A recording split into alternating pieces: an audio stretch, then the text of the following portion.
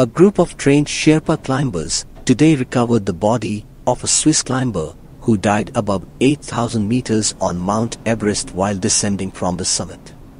According to Mingma Sherpa, from Seven Summit Treks, at least 10 experienced Sherpa climbers collected the body of Abdul Waraich from above 8,650 meters on Mount Everest and brought it to Camp 2 this morning.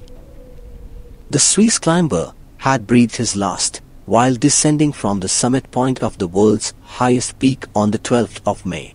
This is the first ever recovery of the deceased climber's body from the highest point of the dead zone.